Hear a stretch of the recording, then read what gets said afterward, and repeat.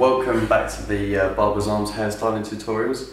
In this video we have Josh and as you can see he has rather long hair. Um, so mainly what we're going to be showing you is how to cut long hair um, and then we're kind of not really going to style it, we're going to put a cream in it and let it dry naturally. Um, but what we're going to do is we're going to be going through the beard, taking that down and uh, shaping that when you have long hair and you tend to tie it up quite a bit or pull it back whatever, the edges tend to break. So what you end up is with this frizziness, okay? We'll be tidying it up and shaping it around the edges so it looks sharp. So if you tie it up, you don't have all these bits poking out the bottom. Um, also, with long hair, if you're cutting the hair, if it touches the back of the chair, it's very important you get the customer to stand up. Otherwise, what that does is that increases elevation and creates layers through the bottom. But as Josh's doesn't, the chair's down here, we can cut it while he's sitting down.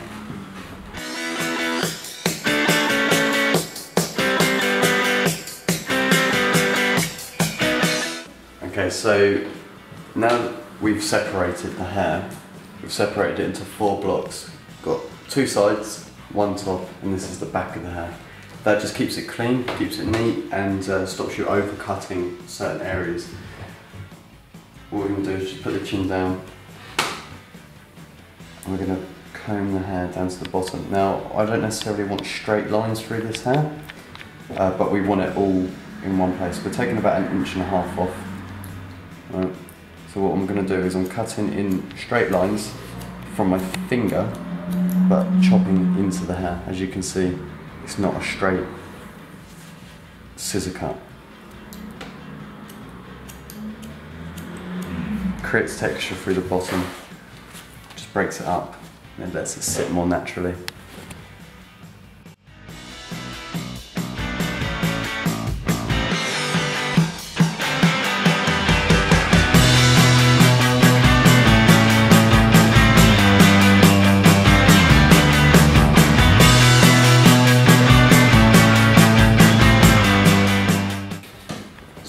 I've pushed the hair out the way and I've just clipped it on the other side and like I said, when you tie the hair up it tends to break as you can see this is all shorter around here. Now what I'm not doing is I'm not going in and I'm not creating a straight line around because I want it to look natural but also I don't want to take any long hairs away um, otherwise the line will just keep creeping up and you end up losing length. So what we're going to do now is we're just going to go around the ears and around the hairline and just remove all these, but also just taper it up just slightly, um, just so it softens the edges and tidies.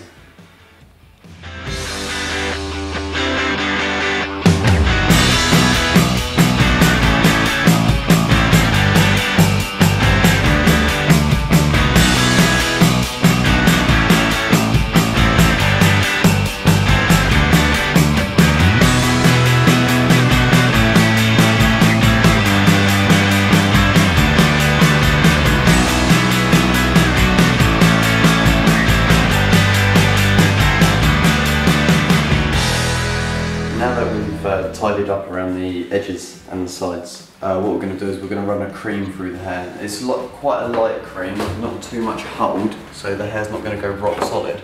But what it will do is it will just control the flyaways and uh, help condition the hair slightly.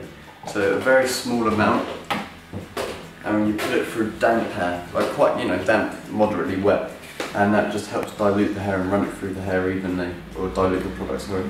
Right, so what we're doing is using your fingers as combs and you're just letting that hair touch the palms of your hands and you just run it through like that. You know, start at the mid-lengths, work it towards the ends and then go forward to the roots. Just so that you're not using too much and you're not going straight through the top and making it look greasy. And then you let it dry naturally.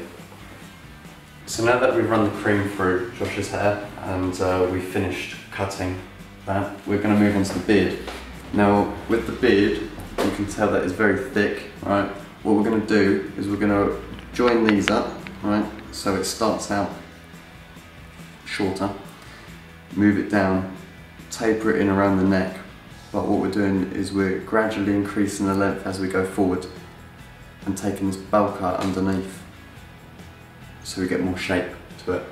So it's longer towards the chin area.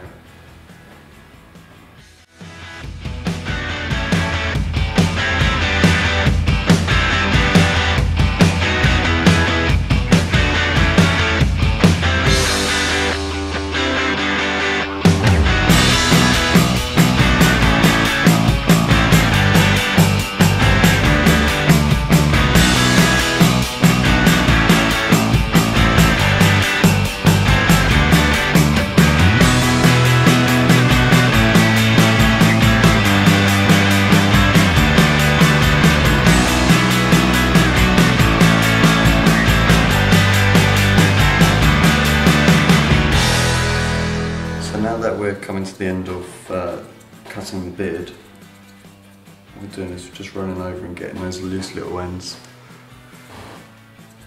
off the front. Bearing in mind we're keeping the front longer so we haven't taken too much off, just so it comes down, creates the shape. But with Josh, we don't have any desire to grow the moustache.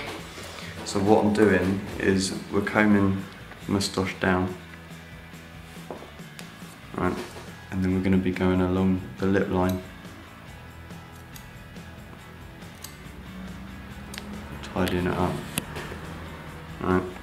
And then what you do is just go up and pick it up and just shorten the length of the top hairs as well so there's not too much bulk.